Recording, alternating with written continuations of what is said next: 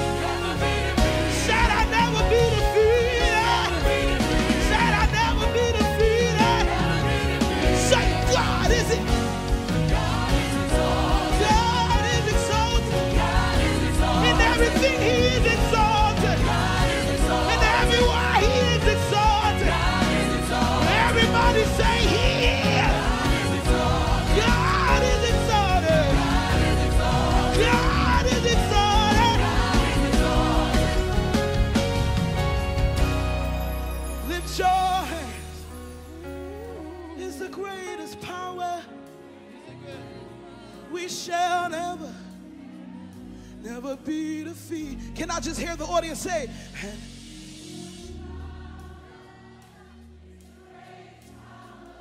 we shall never be. More time. And because, oh, we shall never, never be, never be. No music, everybody say, and because God is a great, we shall never, never be. Yeah. Yeah, yeah. Is the greatest power. We shall never. Come on, Ty. We shall never. We shall never. Just trust in the Lord. Just trust in the Lord with all your heart. Just believe He's gonna do it. We'll never be defeated. We will never be defeated. We shall never, never be defeated. Come on, clap your hands right there. Clap your hands right there. Come on, give him glory right there. Come on, come on. You got about 33 seconds.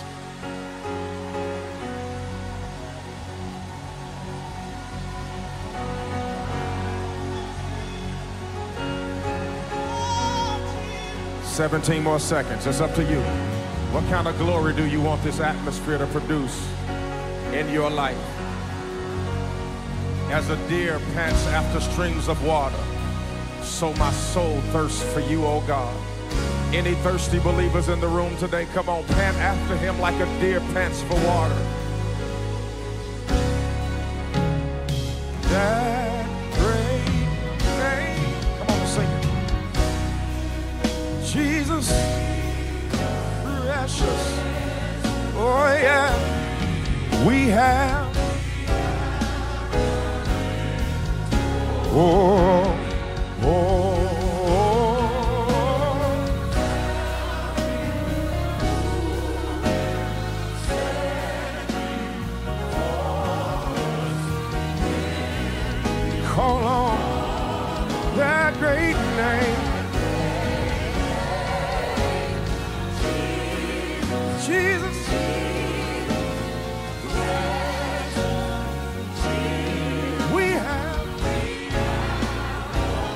more time. Oh,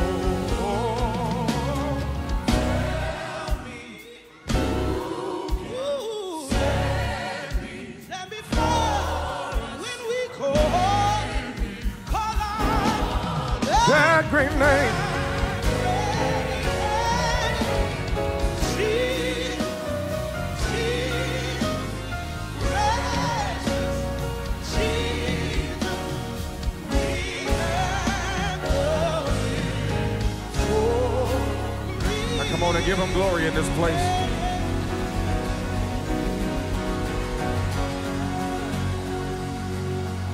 Hallelujah. What a sweet spirit in this place. And since God has already set the atmosphere, it's just appropriate to continue in the flow of what we're doing today. Would you, if you do nothing else, if you do nothing else today, make sure you give him all the glory. If you do nothing else, if you do nothing else, if you do nothing else, make sure you give him all the glory. Not because, not because anybody else deserves it, because he deserves all the glory, the honor, and the praise. And so since he deserves it, then you ought to give it to him. And, and he shouldn't have to do anything else to get it. When somebody deserves something, you bring it to them because they've already done the work to earn it. Has God earned your worship? Has God earned your praise? Hallelujah. We give him all the glory, honor, and praise. I want you to help me. Uh, today is a special day. My, my oldest sister, uh, her birthday is today. And so I want you to help me to praise God for my sister Danielle. Happy birthday to you.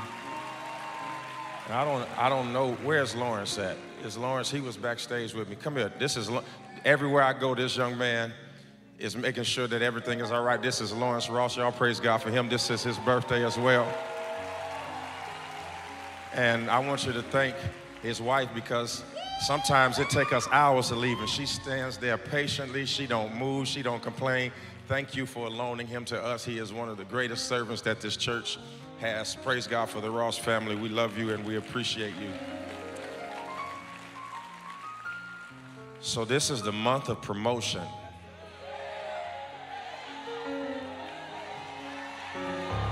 Touch somebody who look like they ain't jealous and say, It's going down this month. It's going down this month.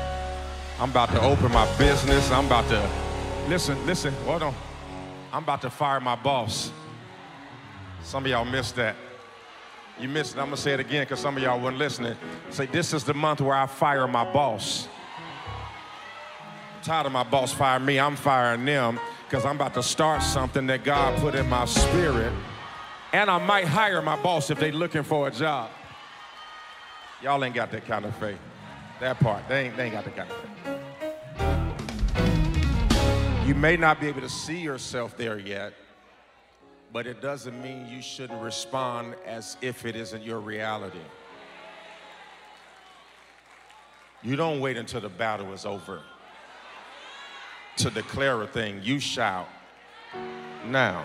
So, so you don't wait until your bills are paid to say thank you, Lord. You wait until all the bills, the slips turn colors, and you thank God anyway that somehow, some way, He's going to do something amazing and miraculous in your life. If you believe the report of the Lord, say, I believe. I'm going to reserve myself today because I got to give you, uh, I don't want to give you a shout, I want to give you a tool. If we shout, we shout. You can do that on your own. We've done enough of that already today, and if we do it again, we do. But certain boardrooms and, and rooms you go in, you got to know how to act when you get in there. Okay? Okay, this, this, two, two days ago, I was uh, at a country club playing golf called the Wilshire Country Club. It's in, it's in, it's in uh, right outside of Sherman Oaks in California. I'm, I'm looking um, with the guy I was with, and I'm just talking to him. Somebody connected us. It was our first time ever meeting. Anybody on a golf course, you can meet somebody two minutes ago, and y'all can act like you've been knowing each other your whole life. So we were having a business meeting, and I'm talking to him, and he's asking me all these questions. And let me tell you something: anybody who asks you the right questions, pay attention to, because people who have been successful, they don't have answers initially; they have questions. They want to make sure they're around the right people. And I start talking to this gentleman and all that kind of stuff. I get to the end of the round of golf, and he says, "Yeah, uh, my family and I, we just sold tw- uh, 20 McDonald's for 70 million." I said, "Yeah, uh, me, me and my family went to McDonald's, and we spent twenty dollars." The Lord said to me, He said, Son, listen, I don't expose you to things for you to just admire it. I expose you because I'm showing you what I'm going to do in your life. Listen, so you'll know the language of the level. I could write a whole book on the language of the level because you can't take old vernacular into new rooms. So we was on that country club and, and I had to learn. I was walking around. I didn't know what a restroom was. I didn't know um, uh, who, who, who the caddies were. I didn't know any of that. But what I did, what I did, listen, I stayed one step behind somebody who knew. I didn't get ahead of him, but I didn't get too far back from him because I belonged even though I wasn't a member.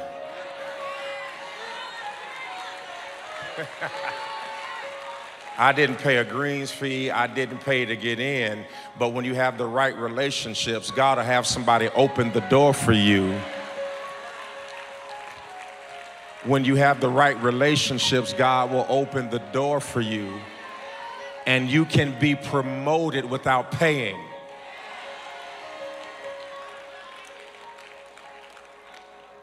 Walked around the room, ran into an athlete who had just signed a $500 million contract.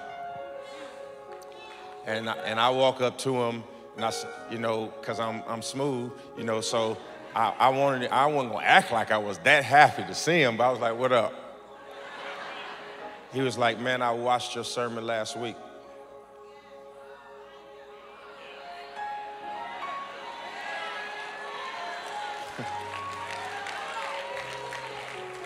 I said, I watched you sign a contract last month. And you signing the contract was as inspiring to me as you watching the word that God had given me to be inspiring to you. We exchanged numbers, started texting, started praying for his family and his wife. And then he said to me, he said, Oh, by the way, we're moving to Houston.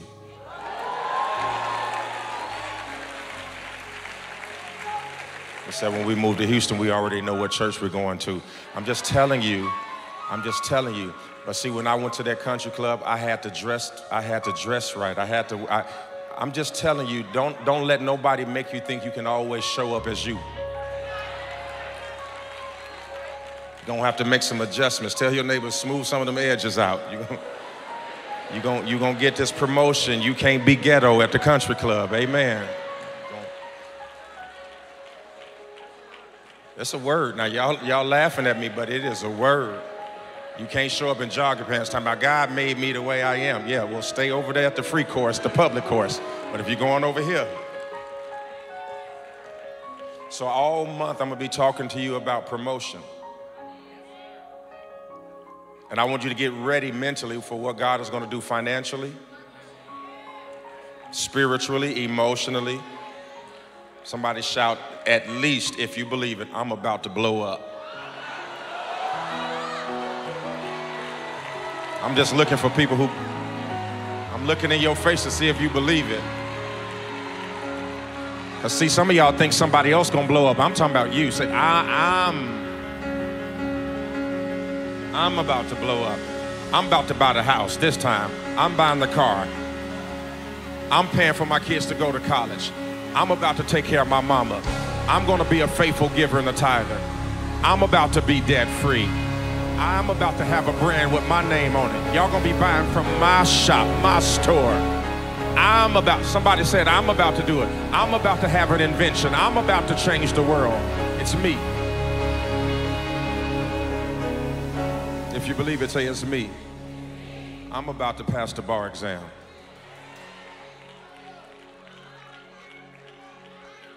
I want you to go to Daniel, Daniel chapter 2, verse 46.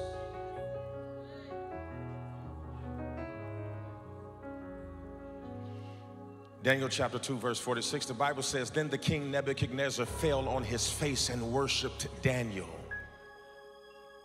and commanded that they should offer an oblation and sweet odors unto him. The king answered unto Daniel and said, Of a truth it is that your God is a God of gods and a, I don't like his language, we're gonna fix it, and a Lord of kings and a revealer of secrets. You're getting close, you're not quite there, but you're further than you used to be. Seeing thou couldst reveal this secret. Then the king made Daniel a great man and gave him many great gifts and made him a ruler over the whole province of Babylon and chief of all the governors over all the wise men in Babylon. Then Daniel requested of the king. I see this is this is probably the most important part about promotion that most people forget. He said, uh, I appreciate what you did for me, but I got a couple of homies. And if it's all the same to you, whatever you gave me, can you hook them up too?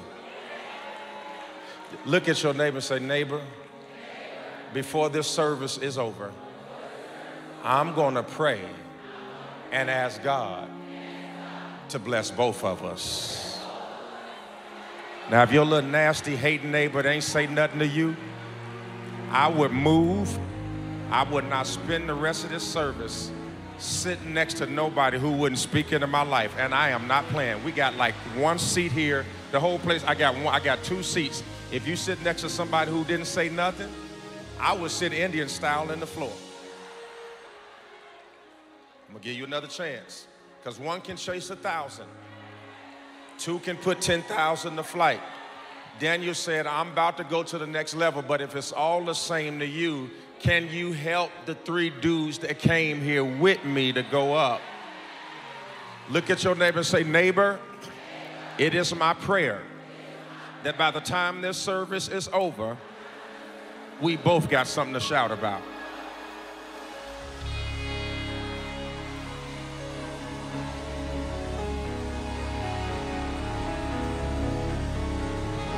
Give him a high five. You may be seated in the presence of the Lord.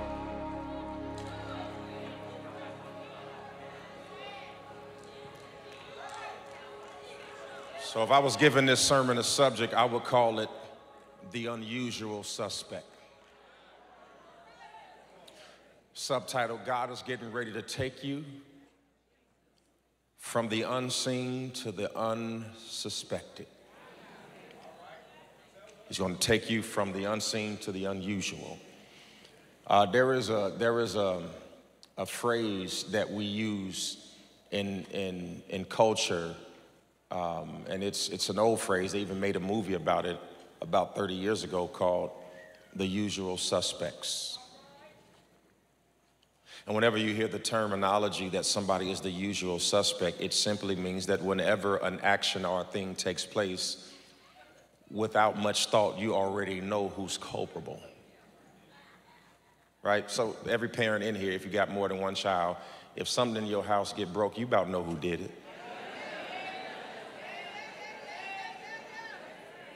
You know the one that, that that's meticulous and is afraid of you, and you know that other joker don't care nothing about nothing unless they scared to death. How many y'all got you you know you know you know Cain and you know Abel?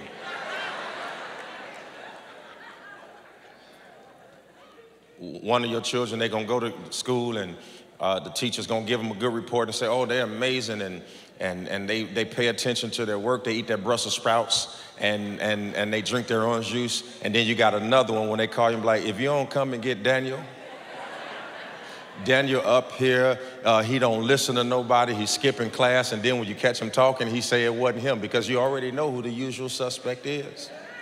Some of y'all ain't laughing because you are the one. Just can't get it right.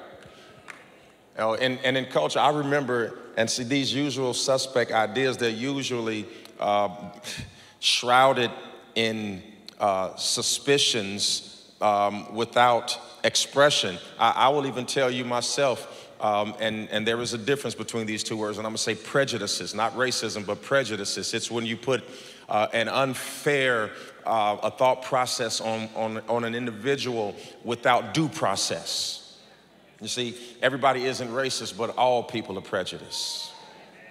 All, all, everybody has prejudices, and I know you like to think that you don't, but you have prejudices. You can look at a, uh, if you're walking down the street at night and you see a tall, six foot four black man, about 235 pounds, with dreadlocks and a, and a bandana on and a wife beater and his pants hanging off his butt. I don't care how pro black you are, if you see him, you crossing the street.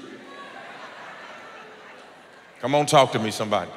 And you can talk about everybody else. They racial profiling, but don't nobody racial profile like black people. Oh, y'all ain't got to say, man, but you can say ouch. Y'all see, we see certain people, you can see a young lady with pink hair and you automatically think she ghetto and you be like, look at it, it's ought to be a shame. And she might own her own company and your hair jet black and you work for somebody. Because we all, we all have prejudices. And I, am tell you, one of the times I remember having one, y'all remember in D.C. when the snipers uh, were, were, were killing people? I'm not, now, please, Lord, forgive me, but when they said that people were being killed in D.C. Uh, by a sniper, I said, man, what white man in his middle age life is out here shooting people. It was a prejudice that I automatically assumed, statistically backed up, that most serial killers are middle aged white men. And so my prejudice made me assume they already knew who the usual suspect was, to my surprise.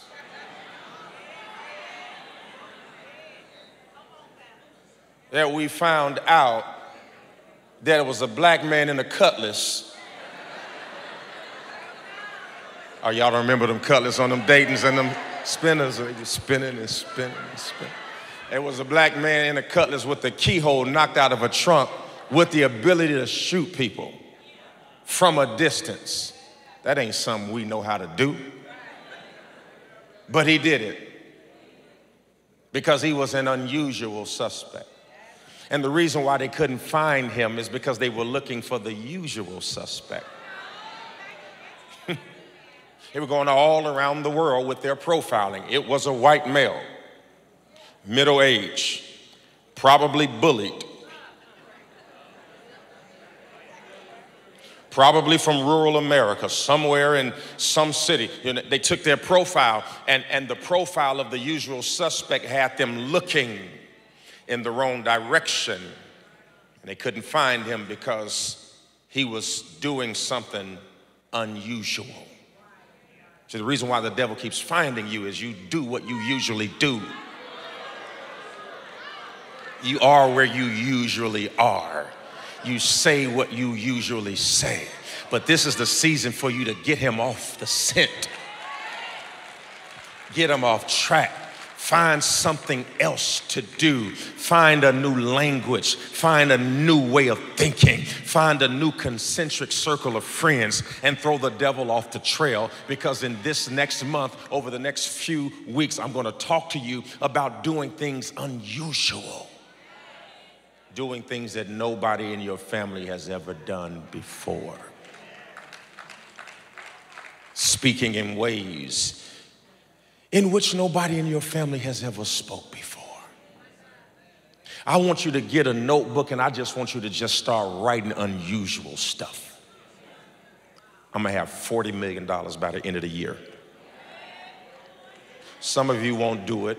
You know why? Because the only thing you have the courage to document is what you believe. This won't be for everybody in the room. I'm talking about promotion. I'm looking for 1 to 3% of you all in this room and 1 to 3% of you online to shock the future with what's about to happen in your life. And what I'm talking about is not some pie in the sky that you're going to get 45 years from now. I'm not talking about the hope of glory for 10 years from now. I'm talking about by the time July get here.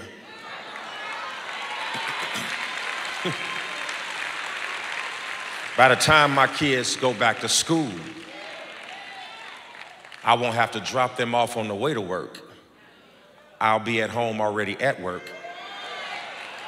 with an LLC in my name, producing the same kind of income from home that I was when I was working 50 hours a week, driving in traffic trying to get there. I'm going to do it from a computer on my kitchen table. Who I'm talking to in this room today? Somebody say unusual.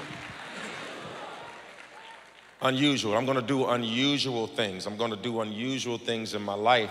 Uh, and so, and so I put that out there for you to look at it because we always talk about Daniel as this guy who got out of the lion's den and, and this prophet of sorts who was able to speak to the king. And I'm going to tell you his story, but can I just tell you his background? Uh, from what he just went through, he, he wasn't supposed to be here.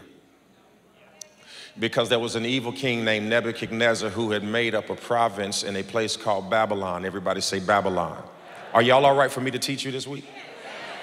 So there's a place called Babylon. Well, Nebuchadnezzar was kind of like a dictator, he was an evil king in a place called Babylon. Now, let me tell you why this is important.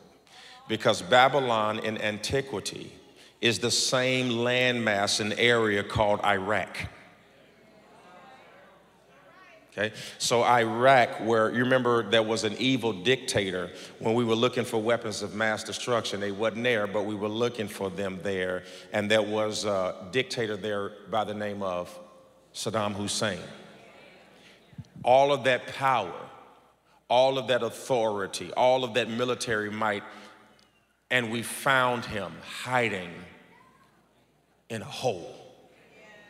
Palaces all over the area, and they found him crouched, rich, powerful, in a hole.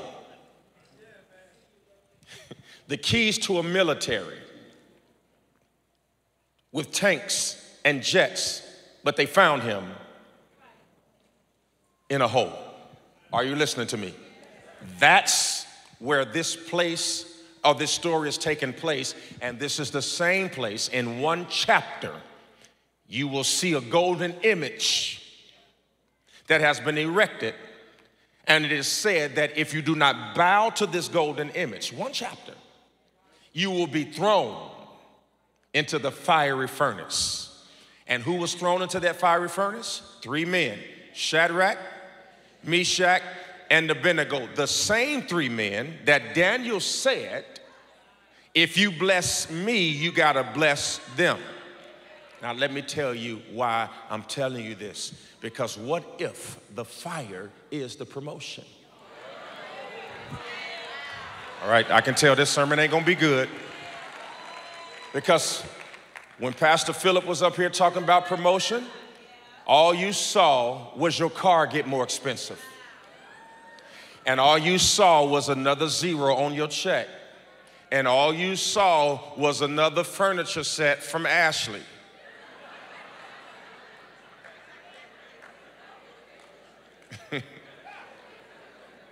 I know, I know, I, you saw your walk-in closet. Come on, dream with me. You, and ain't nothing wrong with it. Can we dream right now? You saw your walk in closet. It is so big in your closet right now that this is how you're walking around it.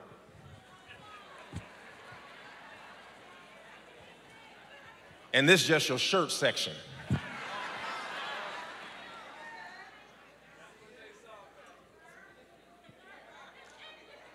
You just got into your Birkin section. This is what you saw. You saw the house, you saw the cars, but I bet you nobody saw the fire. I bet you nobody saw the lion's den. I bet you nobody saw friends you thought you could trust flaking. I bet you nobody saw a pink slip. I bet you nobody saw a future crumbling because David said it was good that I was afflicted. And sometimes, like a bow and arrow, in order for God to take you forward,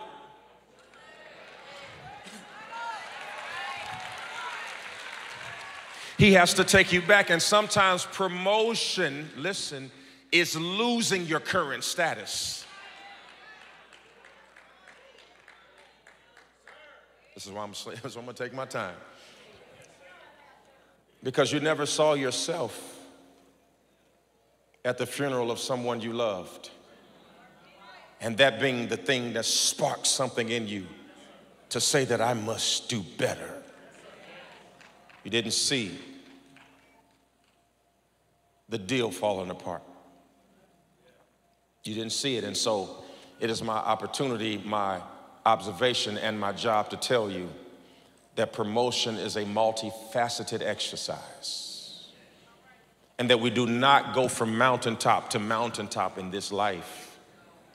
In order to get from one mountaintop to the next mountaintop, you must go down into the valley. Anybody still want a promotion? We are entering into a text. Follow me, as I'm going to give you this whole story that I'm not sure that a lot of us are familiar with how Daniel got to notoriety. Daniel was taken captive as a slave by a man named Nebuchadnezzar because he, Shadrach, Meshach, and Abednego, and a bunch of other Hebrews had a relationship with God. Listen to me. Nebuchadnezzar brought them into his province because he thought that if he could capture some of God's people, he could get some of God's glory. Do you know that some people have you around them? Not because they love you, but because they see favor on your life. And they think by having you around them that the favor that is on your life will somehow find its way into their life. But you must understand in scripture, you can't borrow my relationship with God. I tell your neighbor, I'll praise God with you, but you can't borrow my praise. The reason why you can't borrow my praise because you didn't borrow my pain.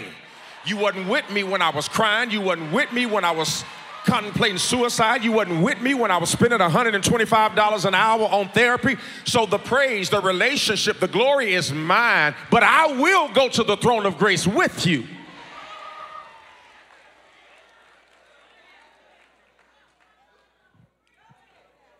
You can't get to heaven because I'm going. God ain't gonna, He's not gonna bless your house just because you next to me. He brought him in because of the relationship that he had with God. And he thought that by having him, them in his life, it would change his life. I'm just telling you to be careful that everybody who ingratiates you into their life doesn't have you there because they believe in your abilities. They don't have you there because they think you love them or they love you. They have you there because they think they will benefit from the glory that's on your life. I'm just telling you. I'm just telling you. And you can always tell because when you need them, they're not there for you. and if you ever decide to not be there for them, then they're gonna say something like, Oh, you acting funny. Or you, you think you better than us, or you ain't the same like you used to be. Uh, when you ain't had nothing, you was a lot more nice, but now you funny acting. Let me translate. Can you help me? Translation, let me manipulate you into feeling bad about your success so you'll give me what I'm not willing to work for.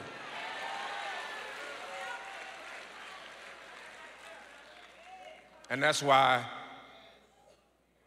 Nebuchadnezzar invited Hananiah, Azariah, Mishael, and Belshazzar, Daniel, Shadrach, Meshach, and Abednego into his life.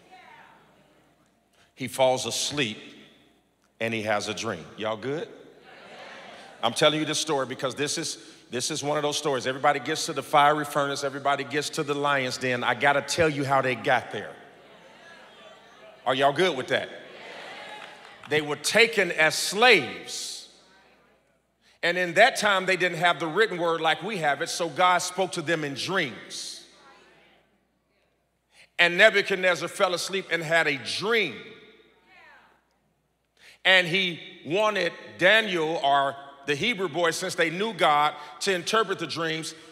But God didn't give them the power to do it at first, so Nebuchadnezzar hired a whole team of people whose job it was to do nothing more than interpret what he saw. Now, let me tell you how hard that is. Some of y'all had a dream yesterday and you don't even remember what you dreamed about. Have you ever had a dream you're like, I don't know where we was at, we was somewhere, and I don't know who was there, but we was somewhere, but I was falling. Have you ever woke up in pain in a dream like, Jesus, did somebody hit me when I was asleep? He, he, he had a dream. And the people he hired, the usual suspects, couldn't interpret this one. And he really realized, and as some of y'all, if you really, if you really look at your friendships, this is what the king said in verse 9. He says, I don't even want y'all to interpret this one because y'all been lying to me the whole time. If, if you really settle down and start looking at the people you trust, you find out that not all the people you trust are trust.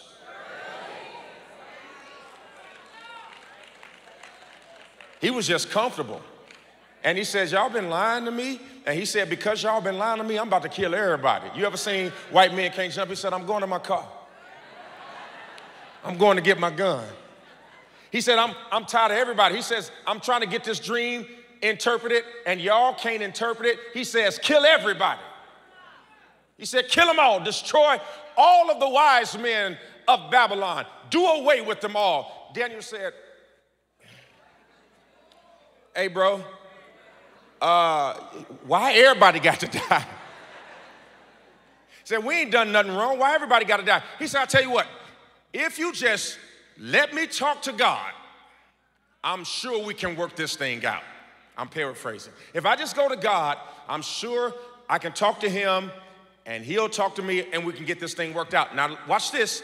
In any other instance when Nebuchadnezzar got his dream revealed, he had to tell them what he dreamed about and they interpreted it. This time he says, I'm not even gonna tell you what I dreamed about. And somebody better tell me what I dreamed about without me telling them what I dreamed about, or everybody's gonna be a dream. Are y'all following me? How many of y'all didn't know this part of the story? Raise your hand. See, this is why I'm going through this background. So, so th- now you're about to find out how they ended up there. So Daniel goes to God and says, Lord, you got to do something. Because he's about to kill everybody. And then he goes to Shadrach, Meshach, and Abednego and says, I'm about to stick my neck out on the line for us. Watch this. Y'all pray for me.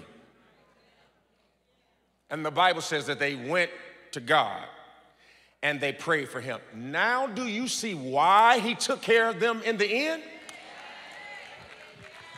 Because he prayed with them in the beginning. Can I tell you to be leery of people who you promote in your life who don't pray in your life? Oh, God. Most of us are promoting people for the wrong credentials. You're promoting people because they were there. Some of y'all need to promote your prayer warriors. Stop always promoting the pretty people in your life and the rich people. Where you need to get some people in your life. They may not have money, they may not have fame, but they know how to get down on their knees and call a Holy Ghost revival, and something happens in your life. Stop asking people, "Can we date?" and ask them, "Can we pray?" Ask your neighbor, "Will you be my prayer warrior?" You looking for a husband, you need a prayer warrior. You looking for a wife, you need a prayer warrior. You looking for a significant other, you need a prayer warrior.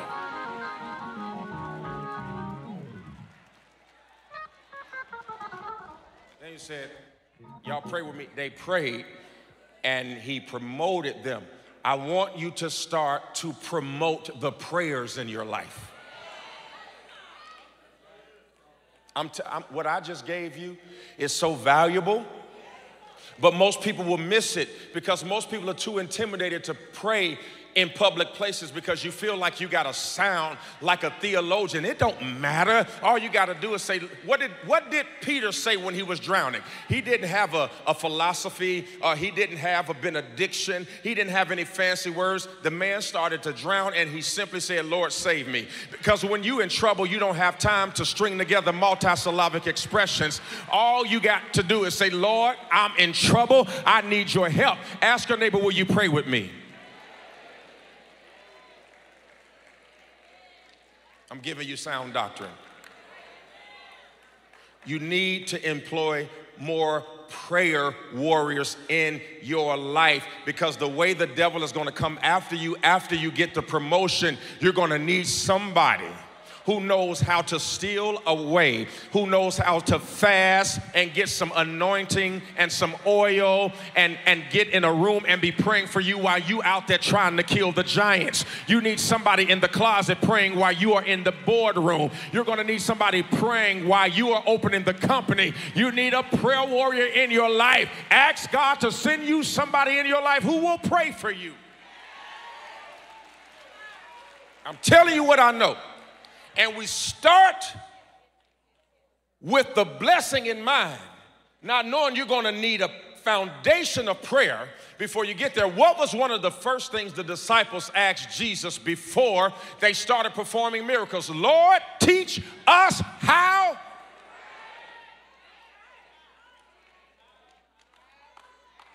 Watch this. He says, not only teach us how to pray, they said, Lord, teach us how to pray like John taught his disciples you better learn how to pray.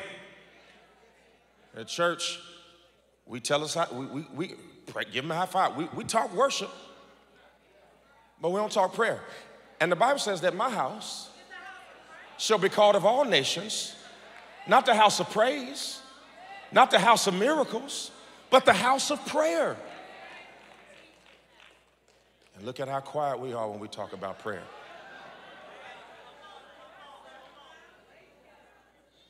You, y'all didn't break up because y'all had a misunderstanding.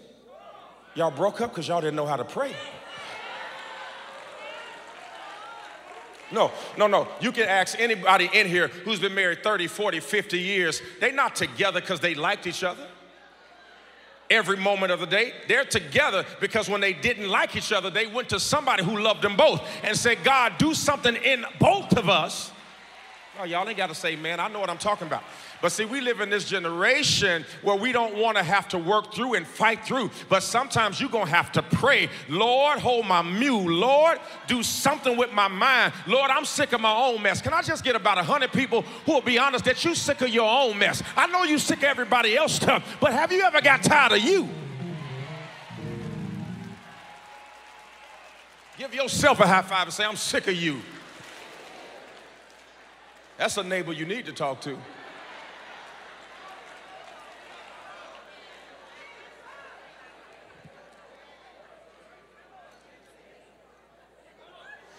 The king ran out of patience and he said, I'm telling you, I'm telling you, I pay too much money not to be getting what I'm paying for.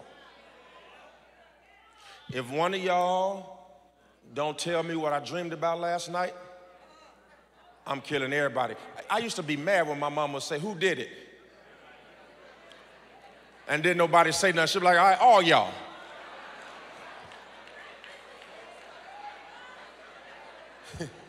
And listen, the way our siblings was, you better not tell on nobody. Because when mama ain't looking, everybody getting you. she said, all right, everybody lined up. God said, I'm gonna take care, the king said, I'm gonna take care of everybody. And, and, then and Daniel said, all right, okay, all right, all right, let me, let me, let me go to the, to the Lord. Let me see if it pleases the king. Let me see if I can figure this out. And in an instant, let me tell you, it didn't even take long in an instant, Lord help me, Jesus. In an instant, you see a Hebrew slave be promoted from a prisoner to a prophet. I'm gonna say it again. There was no orientation period. There was, there was no sitting before the board of directors. When it was his season, Watch this. And the moment matched his gift. And the gift was in him before the moment. But God is going to make sure that the gift is used at its appointed time. And when the appointed time came, all of a sudden, he went from shackles to prophet. I'm speaking to 22 people. That it is not going to take years, it's not going to take months, it's not going to take weeks. In the course of a few hours, there is a promotion that is coming because the moment that God has is about to match the skill set that He gave you. And everything that you didn't understand about yourself is about to make sense. Let me just find, a, I told you it was only for 1%. How many people in this room have certain things about yourself you keep asking, why do I do that? Why am I nice to people even when they're not nice to me? Why am I so forgiving? Why do I have so much grace? It's because there's an opportunity that's coming. That's looking for somebody who's made just like you. Slap somebody and say, This is my time. You missing it. I'm looking for people. How many of you got things that you just don't understand? Why can't I hate people? Why can't I be a hater? Why am I long suffering? Why do I give grace to people who don't give me grace? Why do I forgive people who keep lying to me? Why do I keep turning the other cheek? Because there's a situation and a moment that's coming that's looking for a long suffering, cheek turning saint. Slap somebody say, My season is here, my moment is here, my time is here. I was made for this moment.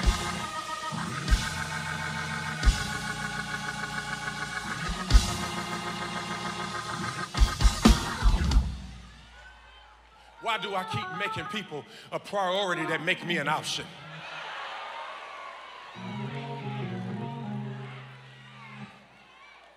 Why do I keep chasing people who won't even look for me? It's because the moment that's coming is looking for somebody who will chase people who ain't looking for them. And I'm telling you, all of the things that you don't like about yourself, it's about to fit. And it's about, it's about to make sense. And then you're going to be like, oh.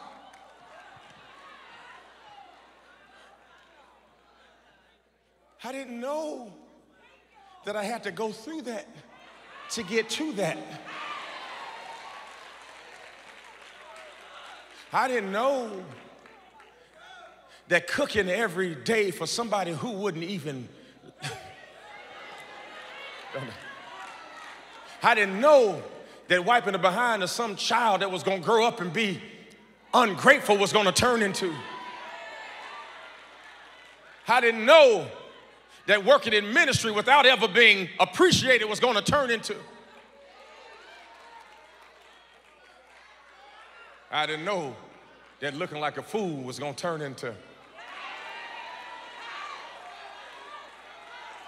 Watch this. Here's the word of the Lord. God says, I'm about to give you beauty.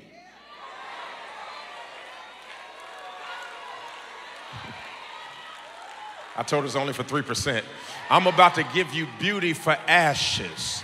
God says, I'm about to exchange your trauma for a testimony. In a moment, you're going to go from a prisoner to a prophet. If everybody in this room believes that this is the moment for promotion in your life, I'm going to give you 30 seconds to give God glory in advance.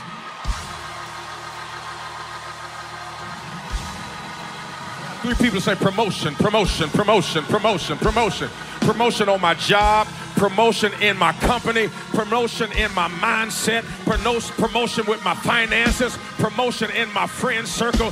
God, get all these dummies out of my circle. Get all of these haters out of my circle. Get all of these envious people out of my circle. Surround me with some prayer warriors.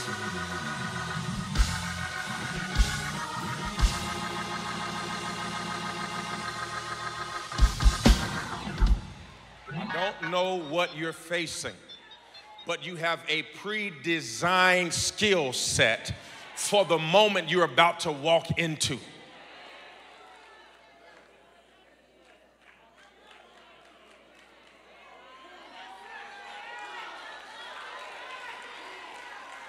Listen to me. I know you don't like yourself. And yes, you should continue to work on yourself. But there is a king somewhere who needs your gift.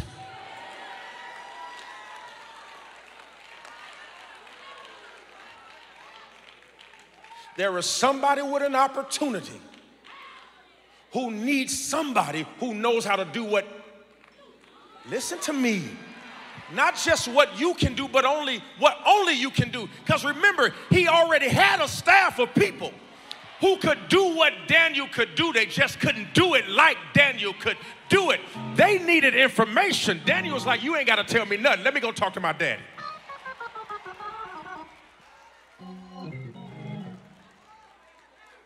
And the moment you realize you ain't like nobody else, they can interpret dreams, but they need the dreamer to tell them what the dream was about. The small difference between you is you so connected to God, you don't need information. All you need is anointing. Everybody repeat after me. I'm different. Are you tell I'm different out here, cuz? Different out here. I'm different. I'm different. I don't see nothing the same. I'm different. I used to think I was weird, but I'm different. I used to think I was cursed, but I'm different. I, I, used to think that I was weird and, and, and I, was, I was different and, and, and I was the least, but I'm different. I'm different. And I'm okay with it.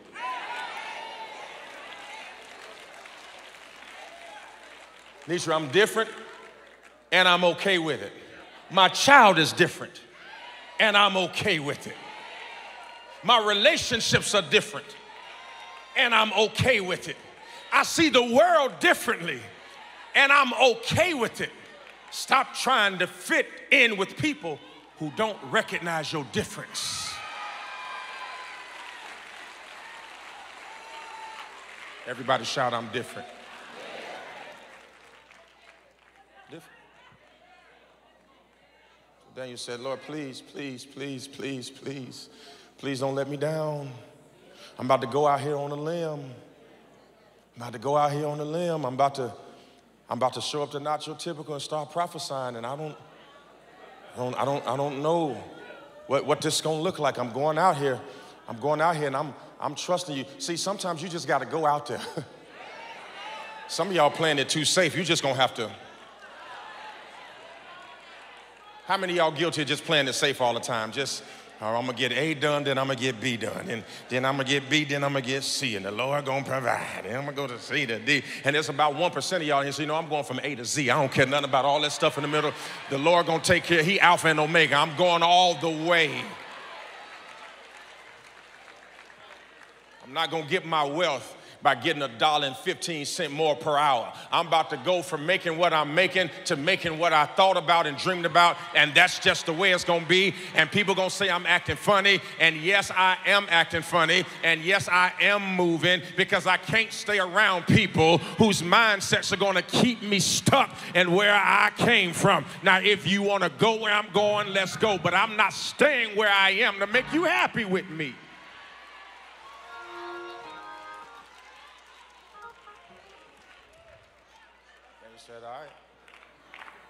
Let's pray. Lord, help me to see the dream of the king. And he started bidding. Boom. I saw this, I saw that. You saw this, you saw that. This is what you said. This is what you felt. He started to explain the man's dream to him, and the man didn't even tell him the subject matter of the dream. And the Bible says that Nebuchadnezzar fell to his face and laid prostrate. Please don't say prostate.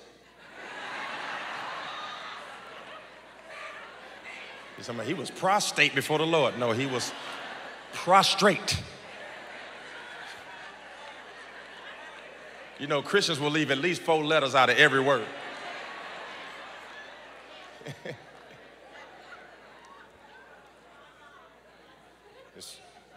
I wish I could illustrate it to you, but I don't want to bend my shoes. He was, just imagine this is the floor.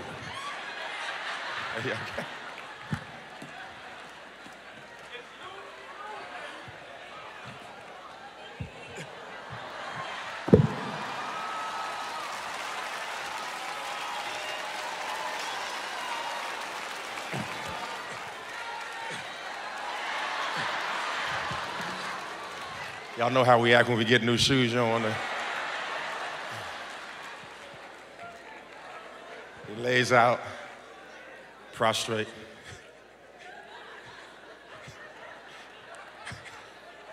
Before Daniel.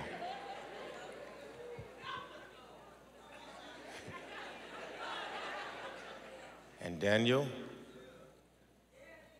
witnesses something unusual. When have you ever seen a king worship a slave? Oh, this is an unusual. Listen, first of all, normally you see the slaves worshiping the king. When have you ever saw an evil king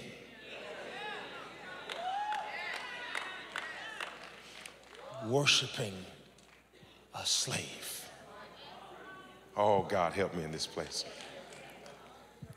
And he falls on his face and he begins to worship him. And let me tell you why Daniel was blessed of God.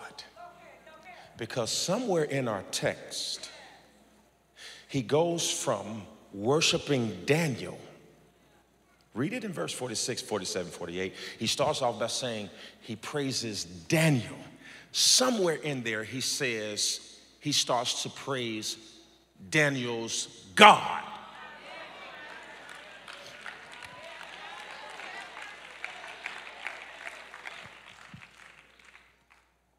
Why do we initially see him worshiping Daniel? And all of a sudden, now we see him worshiping God. I believe through the context of the text, somehow, some way, Daniel must have said,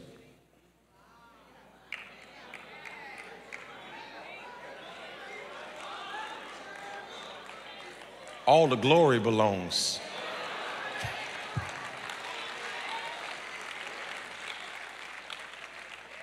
This ain't got nothing to do with me. He gave me the ability. See, the reason why some of us can't be promoted is because we would accept the praise. Daniel rejected it, said, No, no, no, no, no, no, no, no, no, no. I don't, I don't want any glory. I don't want anything that belongs. Are y'all listening to me?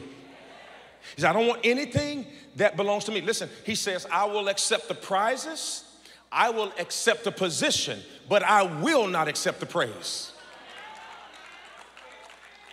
I will take what's mine, but I do not want what's his.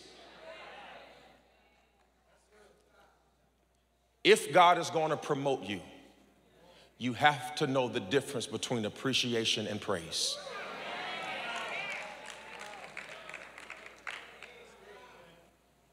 No, this, I'm going to settle here. Because if you are starving for glory, you won't reach your goals. Daniel says, I am perfectly fine with interpreting your dreams and you giving God the credit. One of the things that is tearing our society down is idolatry, human worship.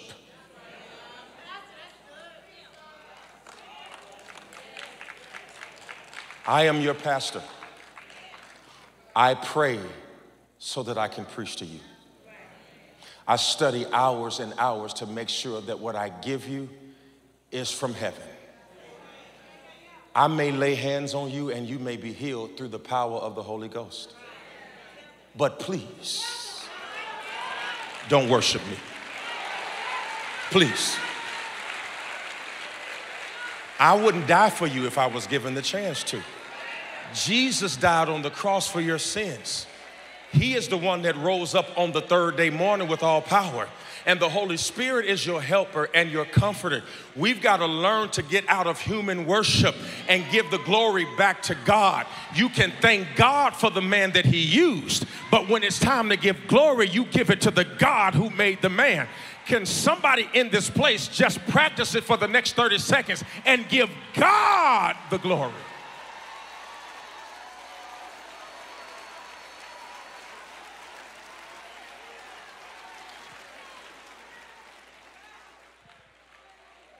This is the reason Satan was kicked out of heaven is because when the glory came in his direction, he did not redirect it to the one it was supposed to go to. Don't let anybody worship you because anybody who worships you will also look for perfection from you.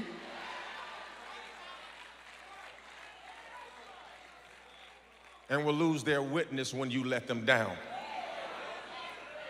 Daniel said, Yes, God used me, but just because he used me doesn't mean I'm God and you have to resist the devil's temptation to make you feel like you are God when he uses you. There are more people in the earth who have a God complex than we'd like to admit. Because when people don't worship us, we don't know how to be faithful.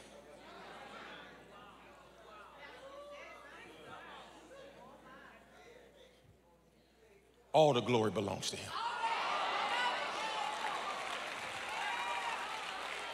We need to teach this in every church around the world.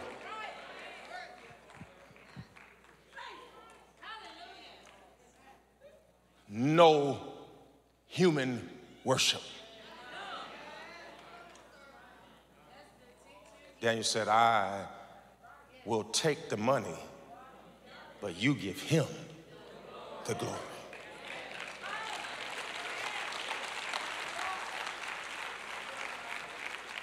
And if you get confused about that, please know I don't want it.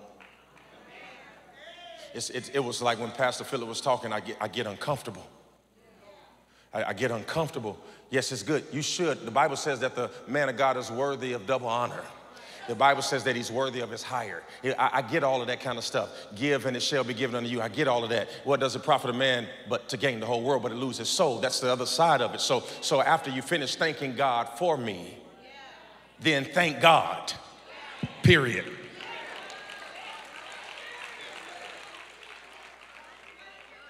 Because I can't heal you unless He gives me the power. I'm not the one that was crucified for your soul.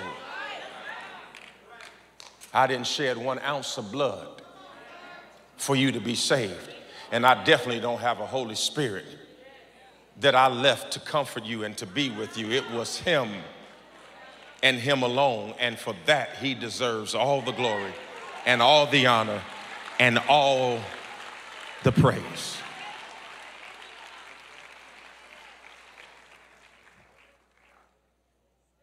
Thought that was worth saying. And I know it may have been boring for some of you all, and maybe you didn't need to hear it. I thought it was worth saying, and not just in my direction, and yours too. Don't require people to worship you. Don't require people to worship you for you to be happy in your house. Don't require people to worship you for you to have a smile on your face. Don't require people to worship with you to put your attitude behind you. Don't require, see, some of us require people to worship us so that they can get the best of us, but that makes you God.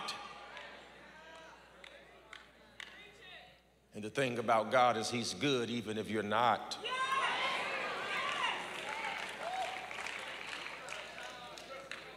I thought it was worth saying that when Daniel was praised by the man, he said, You need to point that praise in another direction. Some people are only comfortable in relationships where they're worshiped. Come here, come here. You keep me I can't find nobody because you can't find nobody to worship you. You ain't single because it ain't no good men. You just can't find a good worshiper. I'm gonna stay right, yeah, I'm gonna stay right here. I'm gonna stay right here. You, it ain't no good men in the earth. There's a whole lot of good men in the earth. You're just looking for somebody who will worship you, and you don't want to be with anybody who will challenge you and tell you your attitude stink, and you need to shut your mouth and sit down sometime. But if somebody, whatever, happy wife, happy life, not all the time. Oh, y'all, come here, come here, let's talk. That's worship where, where this statement, happy wife, happy life, and every man has to always make sure that everything is comfortable for you. That's worship.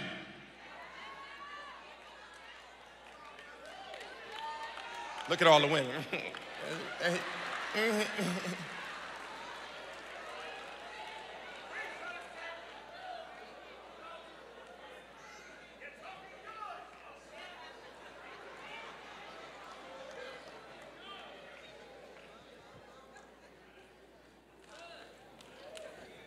don't require people to worship you in order for you to give the best of yourself. Nebuchadnezzar said, I'm going to give this man, you, you, read that word in the scripture, it said oblation. It, it, it means a meat offering with no blood. Okay? And where did, where did Daniel set up his office? Once he became governor. Now, watch this. Let me just say this. Not only did he become governor, he became governor of all of the governors. So this man went from a slave to being the governor of the governors. You, you want to know why they can't stand you?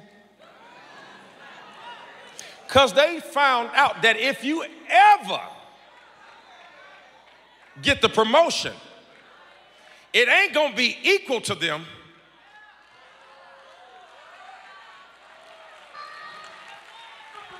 I'm telling you, the only person in your life who doesn't know that you are anointed to be over the people you follow is you.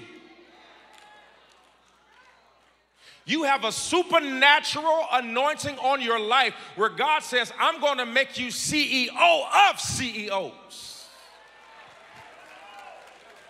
I'm gonna, I'm not just gonna make you an author, you're gonna be a New York Times best.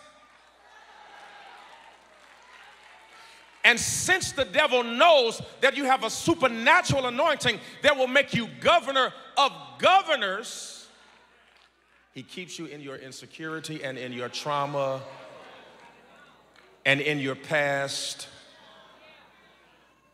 because it is difficult to be promoted when you're always in pain. So what we never see Daniel do when he gets to promotion, who am I, who am I still preaching to? Because I think I'm losing some of y'all. What we never see Daniel do when he gets to promotion is say, oh, now you see who I am. Oh, now you want to promote a brother. You weren't saying all of that when you had me in handcuffs. I don't know. Because most people are so engulfed in their trauma that when the promotion comes, they talk about the pain. Uh, Steve, bring this down here. I'm gonna preach from the floor because they playing with me. Y'all adjust these lights. I'm down here. Sit it right there, right there, because they playing with me. I'm coming down close. Y'all playing with me. Most people can't get the. Imagine somebody enslaves you. Imagine somebody changes your name. Imagine somebody tears your family apart. And then all of a sudden, because you can do something for them, they say, I like you now. You can be like, uh uh-uh, uh, uh uh. Come on, talk to. I want everybody who I'm talking to just raise your hand right now. Uh uh, uh uh. I got. It's gonna take me some time to get over this. I I just can't just jump up because you want me to jump. I just can't. I just can't be ready because you want me ready. It's gonna take me, I'm gonna have to get over this. It's gonna take me some time. You don't see anywhere in the scripture where Daniel needed time to get over what he went through. Because when the moment comes, you better be ready. When the moment comes, you better be ready to go. I'm talking to some of y'all because the reason why your moment keeps passing you is because every time it's your time, you're not ready. You've been getting over stuff since stuff started happening.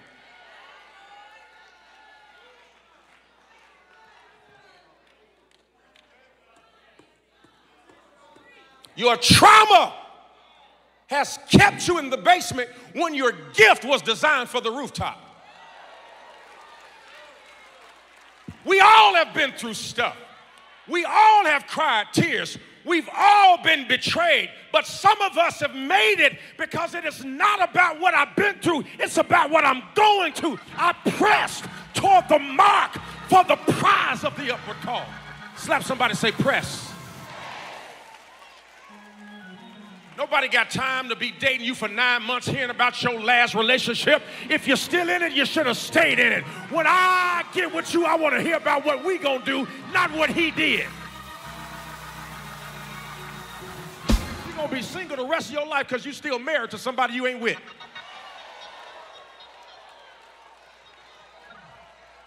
Nobody taking you out to Mastro's to hear about your problems. Work that stuff out in therapy.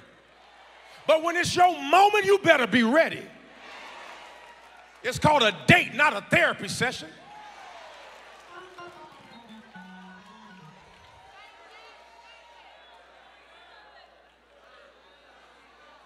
You working your stuff out with somebody you asking God to be your husband. He ain't a professional. She ain't a professional. Some of that stuff you got to work out before you go out or stay home.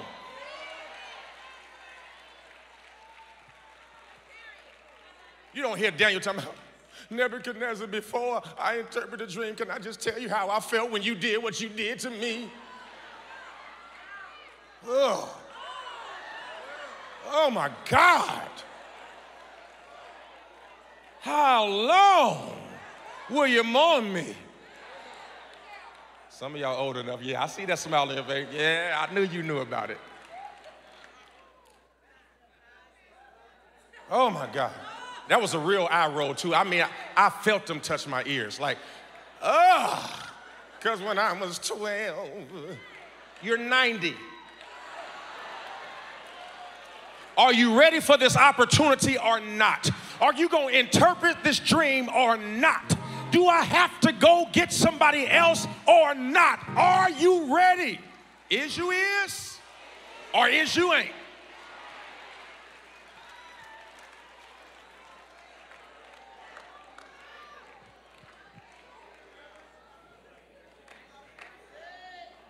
This is what's standing in between us and our promotion date. We always getting over something. How much time do it take for you to get over what you've been getting overing? I'm still, I'm still working on it.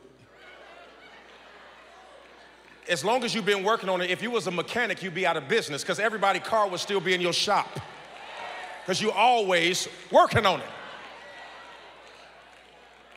Touch your neighbor and say, stop working on it and work it out.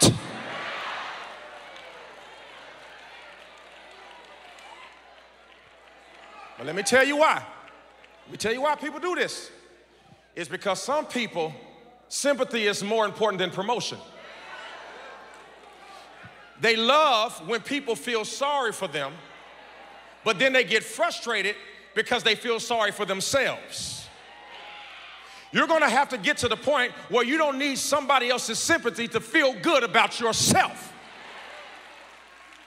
I don't need your thank you to be kind. I don't need your thank you to be uh, uh, uh long suffering. I don't need you to pat me on the back. If all of y'all sat down and didn't say amen, I'm still gonna preach like this.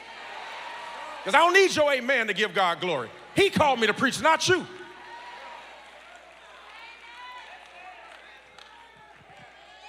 And this is what stands in the way of our promotion, especially as a people. Because black people, we have been through four, five, six, seven hundred years of trauma. That's a guarantee and it is not easily washed away on fact on top of the fact that we went through a slavery transunion we went through that trauma and that was passed down to your great great grandmama she gave it to your great grandmama she gave it to your grandmama gave it to your mama and your mama gave it to you and so now we live in a world where the, the Jim Crow of times past has only been more sophisticated and is now implemented in the same way. So the world is the same. So instead of us waiting on the politicians to change, why don't we just decide as a people that we're not just gonna want people to give us reparations, but we're gonna take what's ours we're to pull our resources and start talking to one another, get out of this crab in a barrel mentality, and start sharing information with one another.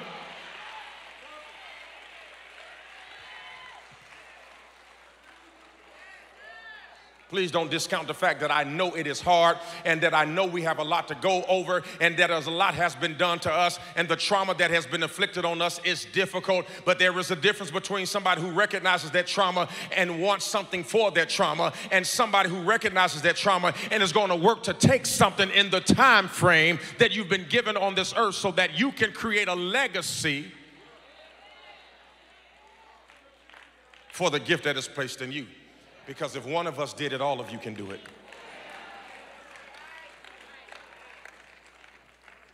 And in the meantime, while the world systems try to hold us back, we're going to ask Hananiah, Azariah, and Mishael to be praying. Because there are some unfair policies. Jerry um, um, Miranda, uh, rigging in the in the, the voting system and gerrymandering and we've got we've got they they changing all of the laws and and and and you got all kind of stuff that's going on. I know it's hard. But that don't mean you get to sit home and cry about it. And it doesn't mean you get to turn the news off because you don't know what you don't want to know what's going on. And every time you turn the news off so you don't know what's going on, and you won't read a newspaper so you don't know what's going on. And then you start talking about, I don't know what's going on. You know why you don't know what's going on? Because you won't look at where it's happening turn the television on, watch all of the stations, and, and form at least an opinion. And being ignorant is not a solution. Now I didn't, I didn't even, I don't even supposed to be over here. Let me. I'm trying to show you how to interpret the dream. Trying to get promoted as a people. And when you find out something, don't be content with just being the king, so everybody has to come to you to get it. Let me tell you something, black people. When you get in the real systems, you will understand that the real systems are too big for one king. If we get in the banking system, you'll realize ain't no one bank. If we get into entertainment, you're ain't no one production company.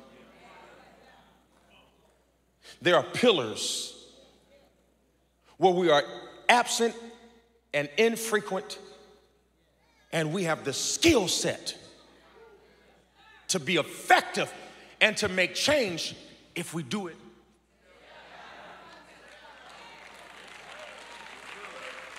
Most of y'all will sit next to the person in church all day that you don't know and won't say nothing to them. Only thing you're trying to figure out if they sitting on your dress.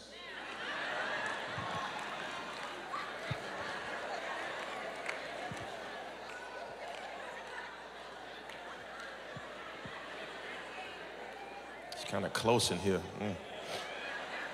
I need bigger seats.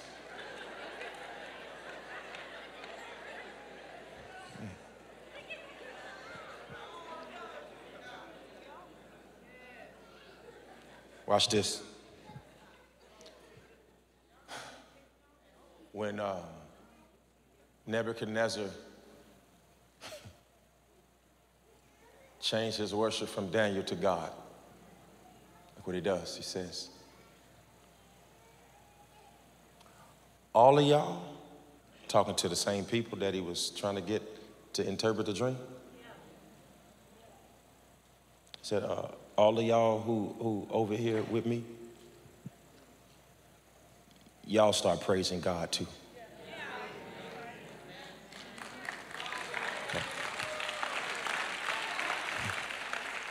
He went from not knowing God, and the Bible says this was in the second year of his reign.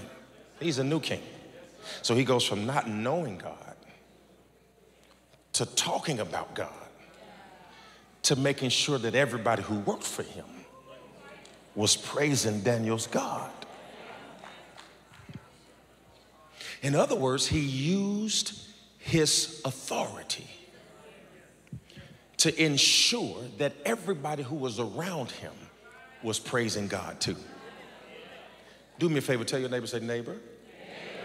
You, may you may not put anything in the offering, but you will, put something in the atmosphere.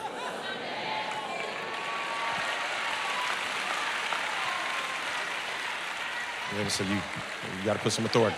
You say it again, say, you, you might not give at offering time.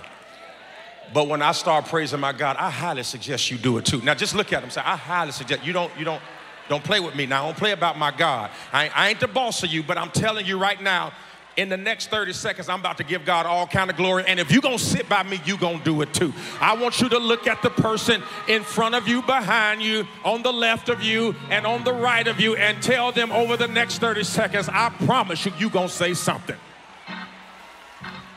No, if, they, I want you, if you standing up and they sitting down, just kind of lean over and say, Did you hear what I said? Over the next 30 seconds, we're about to blow this place up because I highly suggest that you give my God. I can't hear nothing. That's weak. That's weak. You're going to have to praise him on the level I praise him. You're going to have to praise him on the level I praise him because God's about to do something in this room. And I'm not about to have anybody in this room who won't put something in this atmosphere. I need about 2,000 people to shout glory in this place today.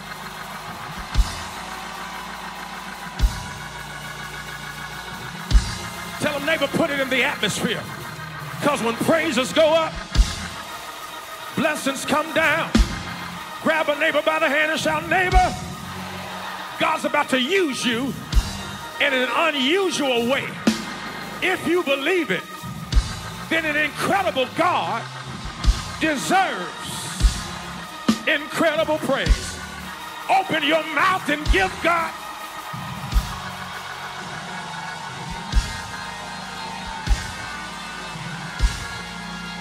Good God Almighty, give your neighbor a high five and shout, neighbor, I speak unusual in your life. Watch this. Listen. I feel the glory. Tristan. Tristan, when I came to church this morning and I got out of the car, what was the first thing you said to me? Do you remember? He said, Sir, where's your voice at? Because I had lost it. I had no voice when I got here. Nick got me, anybody ever had that? Is it medicine? Medicine ball from uh, Starbucks? Because I don't go to Starbucks, they charge too much. But but he he had one for me, and, and I and I was drinking and I'm like, I'm sitting down here, the worship service is going on, and I'm like, oh my God, I can't participate. I was like, oh my God, I swear to you, I almost was going to tell Pastor Torrance, have Pastor Suber to preach because he's already in the vein. And then the Lord said, No, it's your time. Now, all of a sudden, here I am talking to you. And just an hour and a half ago, I didn't have a voice. But see, this moment matched my gift. And when it's your time, God will give you what you didn't have. Give your neighbor a high five and shout, Neighbor, I speak. Thank you, Holy Ghost. I speak unusual. I speak uncommon favor. If you believe it, open up your mouth and give your God an unusual praise. Open it up your mouth. Slap three people and say, promotion is here, promotion is here, promotion is here.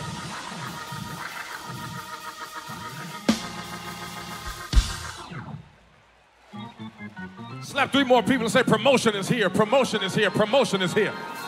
Promotion in your finances, promotion in your health, promotion in your business, promotion in your relationship, promotion in your ideas. Here's what God told me to tell you He's about to satisfy you with long life. Some of y'all are going to live 10 years past your grandmother. If you believe it, shout yeah.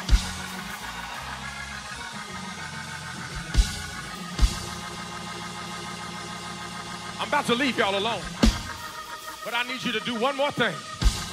Remember when Daniel went and received the blessing, the Bible says he put his office at the king's gate.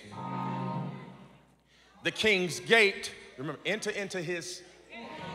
The king's gates is where judgment and decisions were made. Watch this. So now, Daniel is literally saying that I am about to protect the guy who put me in slavery and in four chapters is going to put me in a lion's den.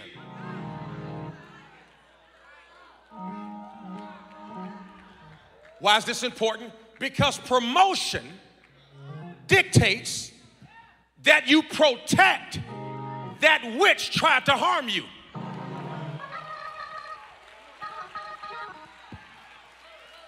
So I know your daddy didn't raise you, but honor your mother and father that your days might be long. I know he broke your heart and divorced you, but buy him a wedding gift and a card and congratulate him on where he's going because it necessitates that you protect that which harmed you. And if you are not ready to protect that which gave you pain, you are not ready for promotion.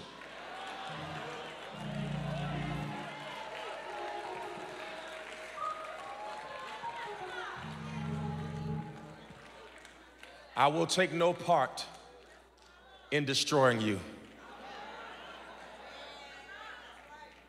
Remember, oh God, if you just keep reading this book, you're gonna find out that Nebuchadnezzar, this rich king, remember, where did we find Saddam Hussein? Keep reading it. In a few chapters, you will find Nebuchadnezzar on the ground eating grass. You ain't gotta do nothing to anybody who enslaved you. God has the final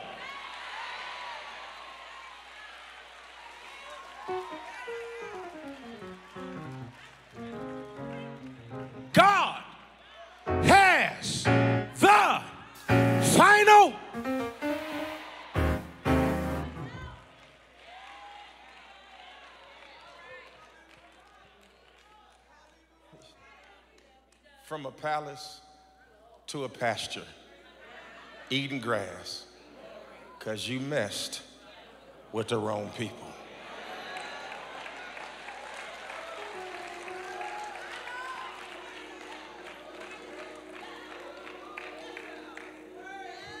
There is an unusual suspect in this room. You weren't supposed to make it. You weren't supposed to be here. You were supposed to be somewhere crawled up in the room crying about the trauma of your history. You, remember? you were supposed to swallow them all and die in convulsions in your bathroom. The divorce was supposed to kill you, and the absence of your father and mother in your life was supposed to destroy you. And the betrayal of your sibling was supposed to put you in a position where you wanted to just die. And you remember that uncle that molested you? That was supposed to kill you too. And that stepfather who touched you inappropriately, but you were afraid to tell your mother because you knew your mother would choose him over you. That was supposed to end you too. And yet, in the year of our Lord, 2023.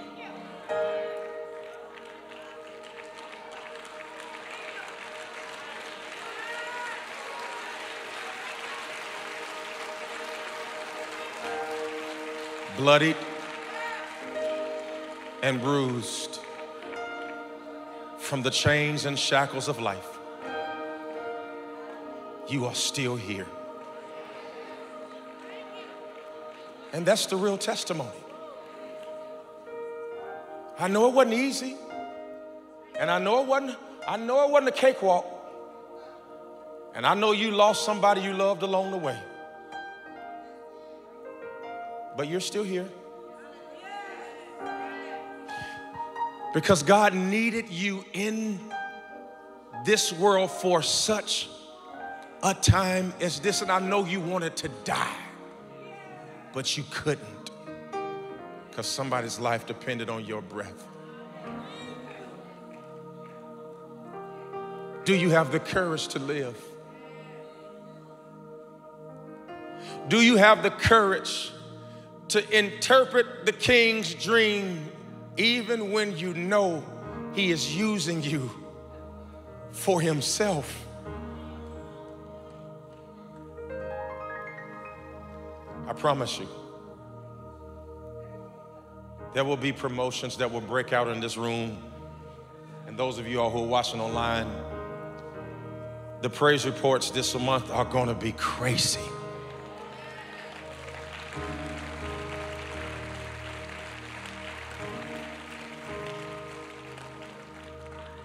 Tell your neighbor, if you pray for me, I'll put a good word in for you. If you, put, a, if you pray for me, I promise you, when I start getting my stuff, I'm gonna remember you. If you pray for me when I get that promotion, I'm I will remember the conversation we had. I'm, a, I'm gonna find a way to implement your skill set in the dreams that I have for my life. Never forget that the opportunity of a lifetime is only good for the lifetime of the opportunity. And if you're not ready when it is your moment, you will watch somebody else eat your honey and drink your milk. You better be ready.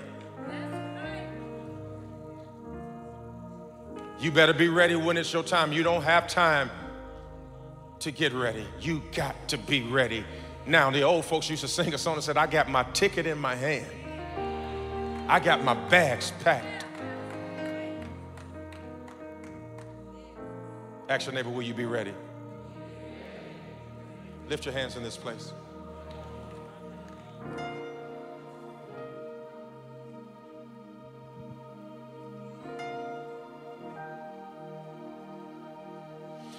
I want you over the next few moments just to, the Bible lets us know that our worship sends up a fragrance and out of the sweet, savory place of your belly and your lips, I want you to begin to say something sweet to God. Come on, put something in the atmosphere. Let's create an altar of incense.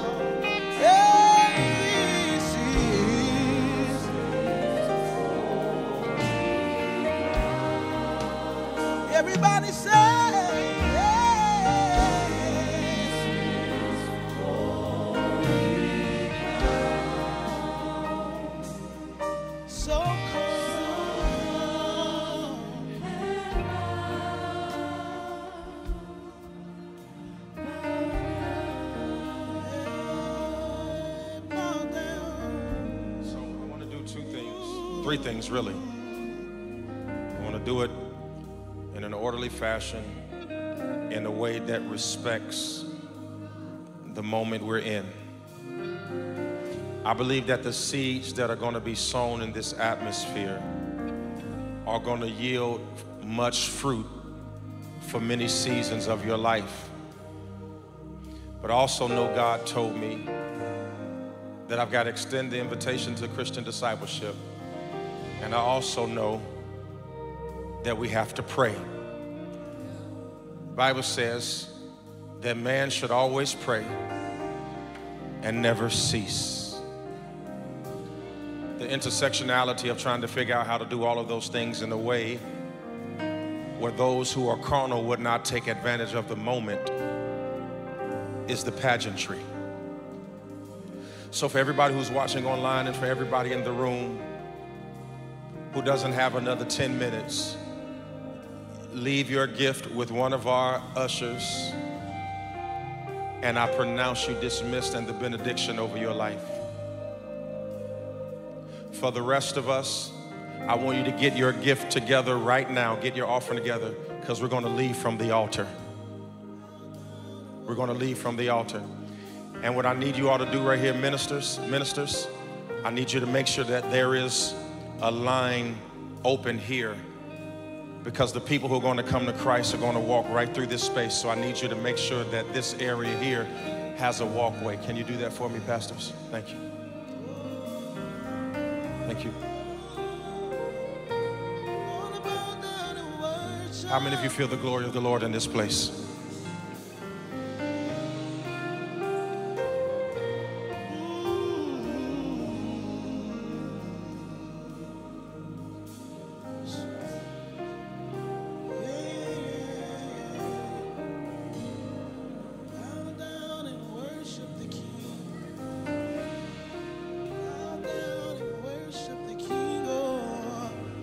Hear somebody saying it. It's the word I want to hear. Somebody say, worthy, worthy.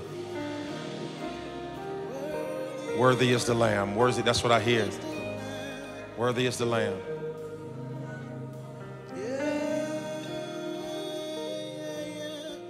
worthy is the Lamb. That's what I hear.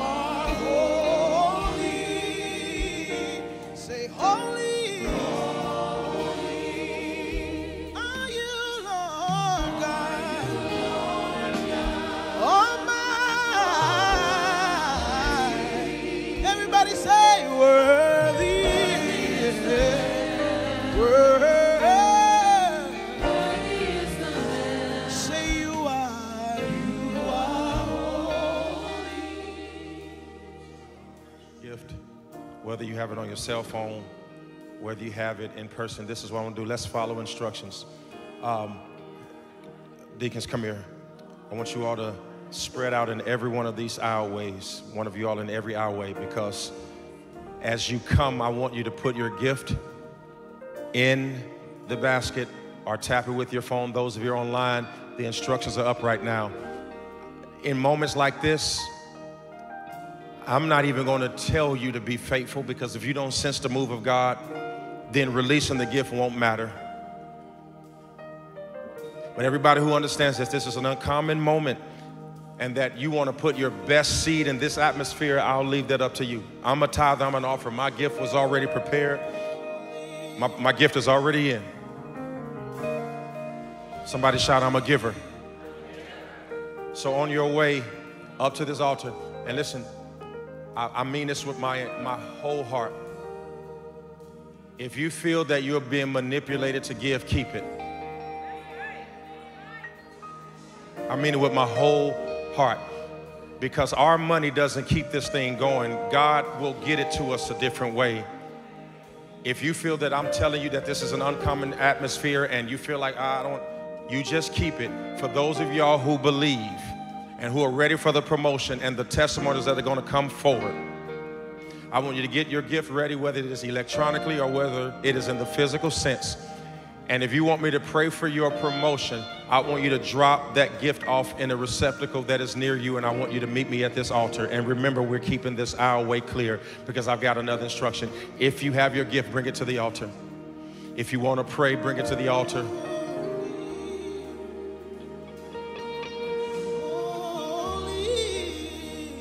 Bless these gifts and these givers. Let no one go without. Come close, come close, come close. Deacons, if you have to move through the crowd to get closer to people, nobody pass up. Don't take it home. Hallelujah. If you can't get to a basket, lay it on the altar. Pass it up through somebody. They'll bring it, they'll pass it up there. Deacons, you can move through the people. Go collect it. You can move through the people. Go.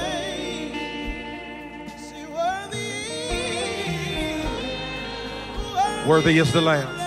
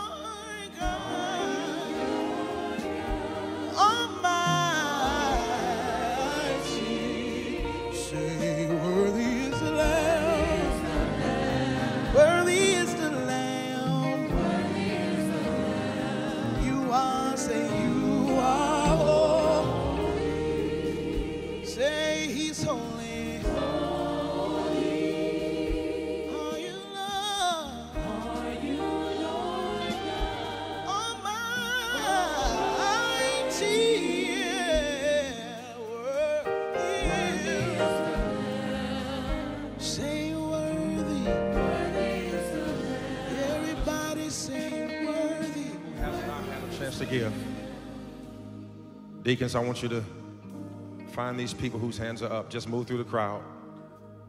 Please, if you see somebody with a receptacle, just let them through the offer, uh, the aisle. Please.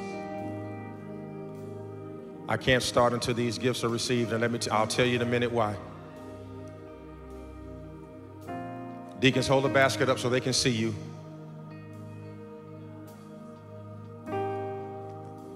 Can somebody help this young lady right here? She, she's got a hand up. I don't want her to have her hand up too long. Somebody please help her. Thank you, sir. Thank you. Thank you. Thank you.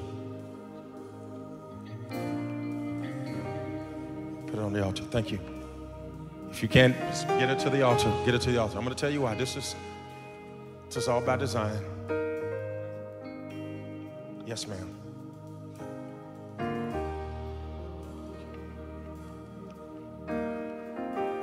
Come. Somebody can get it from her. Just have her. Somebody help that young lady right there behind. Just pass it this way. Pastor, I don't even want to touch it.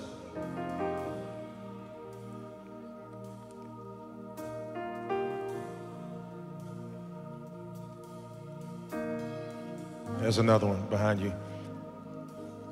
I'm, I'm, I'm modeling in public what I do in private. I don't touch y'all money. It belongs to God.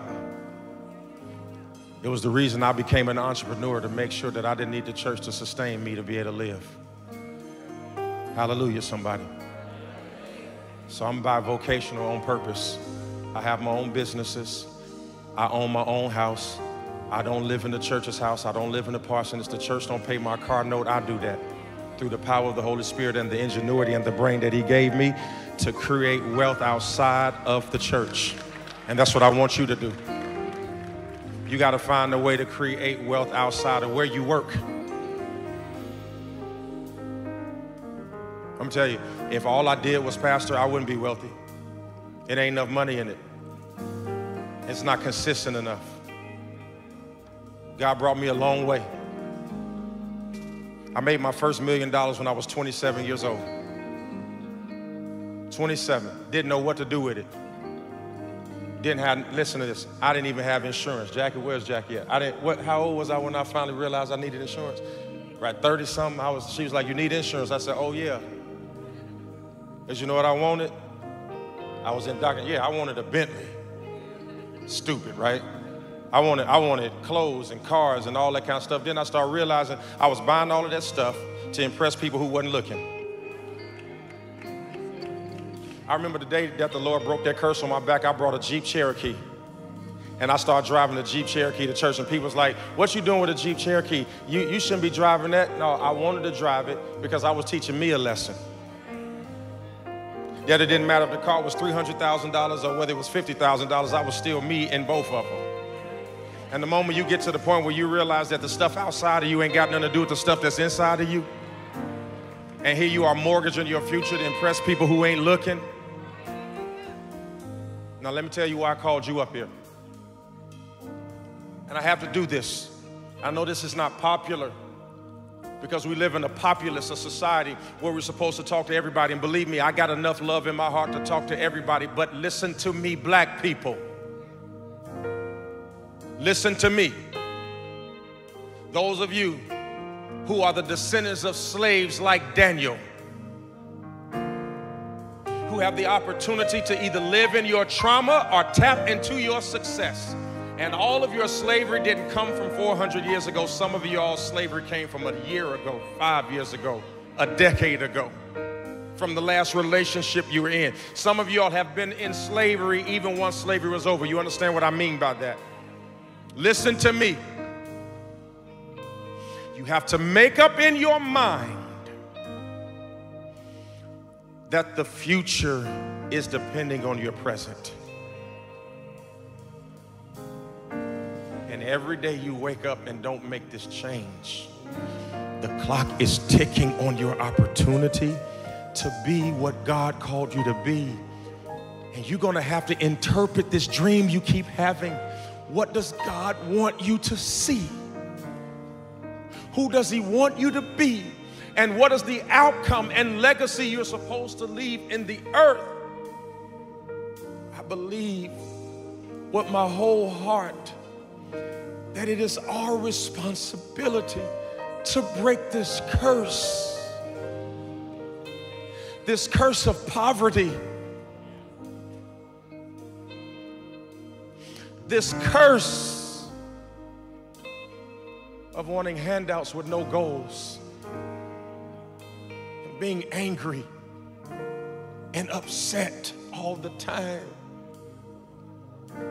Our tempers are killing us. Our refusal to learn the king's language has locked us out of the room. And we want to be so culturally adept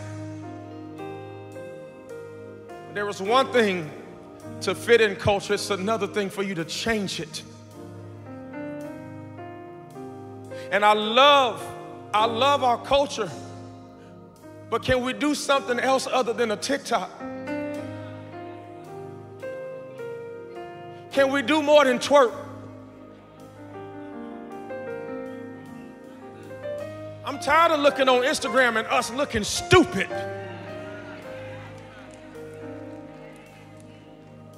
I'm tired of our idea of content is a martini glass at a restaurant. When are you going to post what you read? When are you going to post what you learned?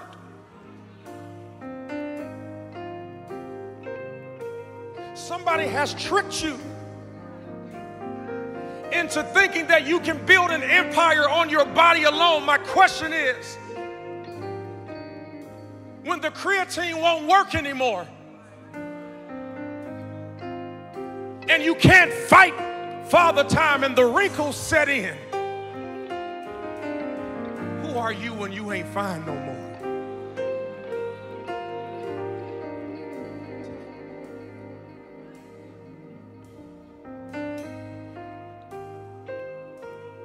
This thing, use it. You're only using 10% of it.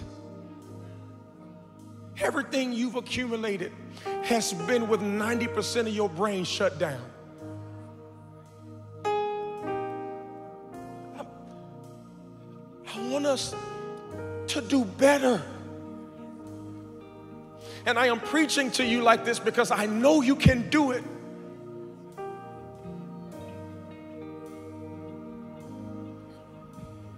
Somebody has to show you the way.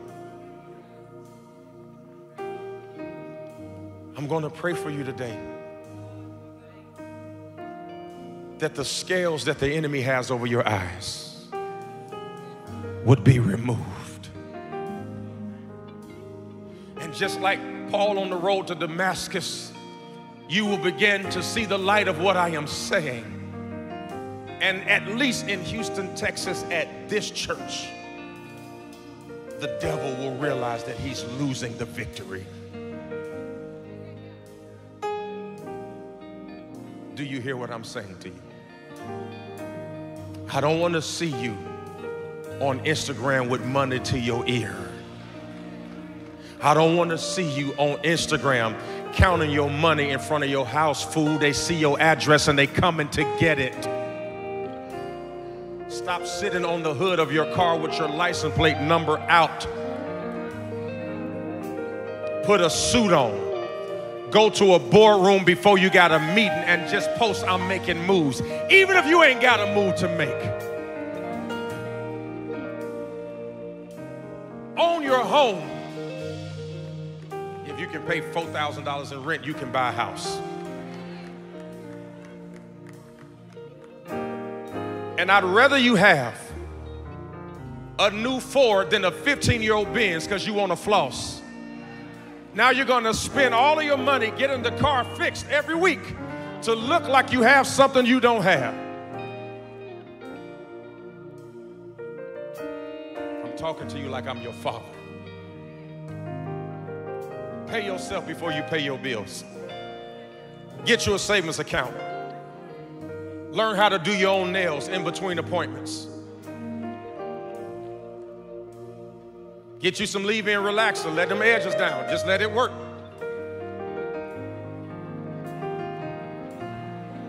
Get you some silk pillowcases. Get you a bonnet.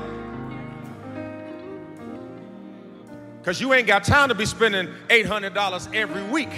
Now, I know the hairstylist is to be like, Pastor, you and my money. No, I'm showing you to get you another stream of income so you're not standing on your feet 15 hours a day trying to live. Because anytime you're exchanging dollars for hours, you're poor.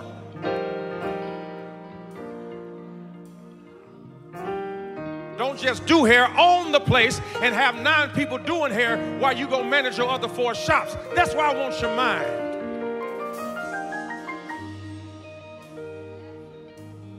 Who am I talking to? Shout promotion. Shout promotion.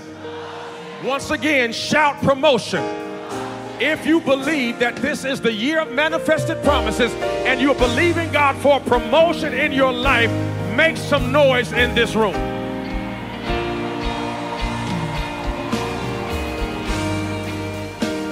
Tell your neighbor, it ain't always gonna be like this. Look at somebody tell them, it ain't always gonna be like this. I'm not always going to be worried about a cell phone bill. I'm not always going to be worried about a car note. I'm not always going to be worried about rent. I'm not always going to be worried about who likes me. I'm walking into a season where I'm getting ready to interpret dreams and people are going to come looking for me.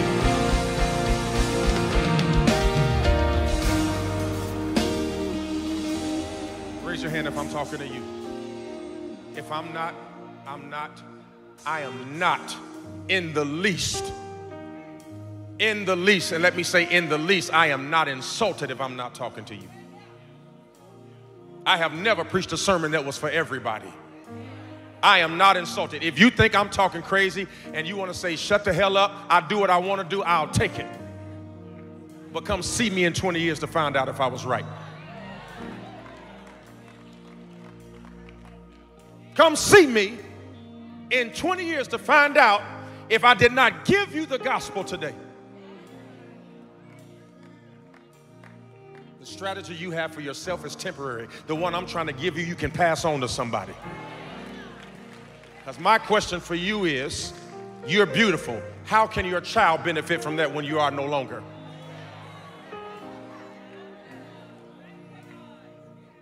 You're an influencer. Got it. How can your great great grandchild? Because a wise man leaves an inheritance for his. So, how can your children's children benefit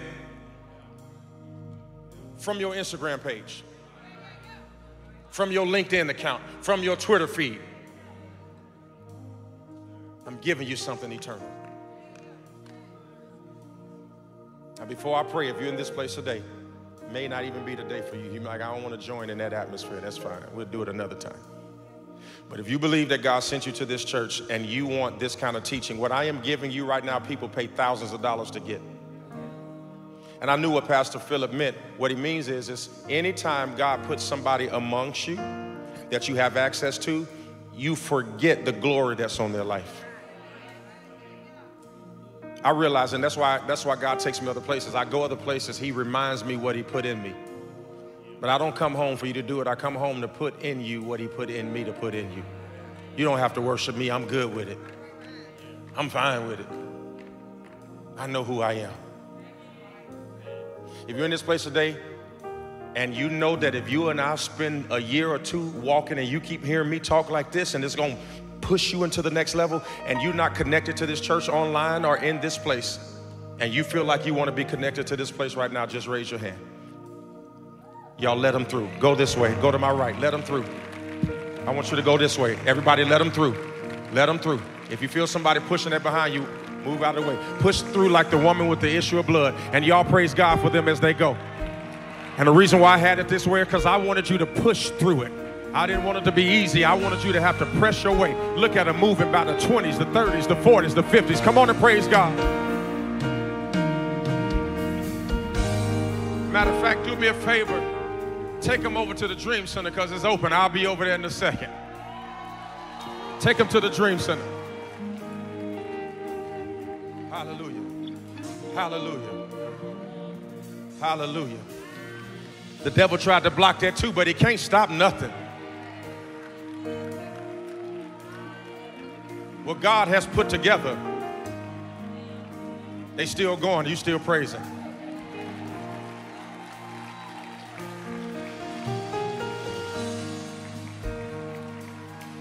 You just you do this. You look at that person next to you and say, "Don't get common with me. Don't get common with me. I'm somebody. I'm different. Speak to me like I'm different. Approach me like I'm different."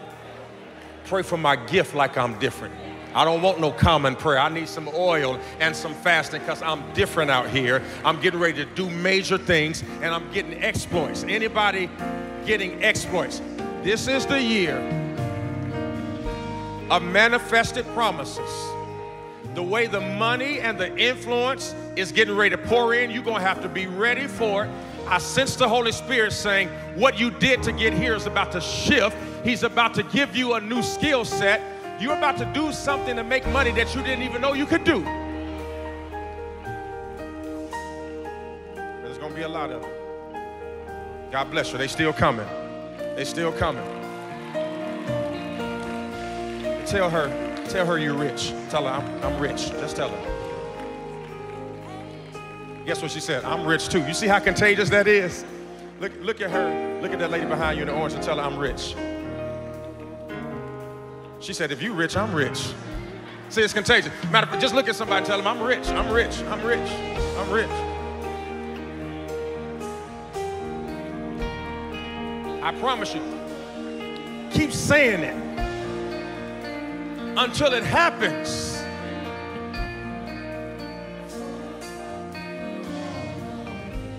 I want you to save up. Listen to me. I want you to save up the money on your next flight and get a first class ticket. Because once you sit up there, you ain't gonna wanna go back there no more. So I want you to introduce yourself to the next level so you become disgusted with the one you're comfortable with. I want you to go in neighborhoods you can't afford to live in, bring your Yorkie so they don't shoot you and act like you belong. Just get you some spandex and a nice shirt, act like you're just jogging, act like you belong out there. If your car is raggedy, park it up the street and walk in. I want you to get used to walking in neighborhoods with grass and trees and, and people holding hands and jogging. And I want you to, you got to get your mind ready for it. Spirit of the living God, we have exhausted ourselves at this altar to prove to you that we're willing to wait for you to work.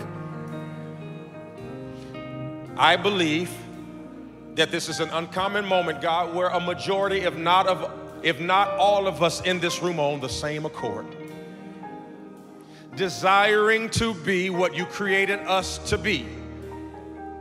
Preparing for the opportunity to interpret the dreams of the king and to become an unusual suspect and shock the world that we became in spite of the odds being stacked up against us. We speak life, health, wealth, freedom, institutional authority, political power. Show us the secrets of the kings. Put our name on somebody's mind.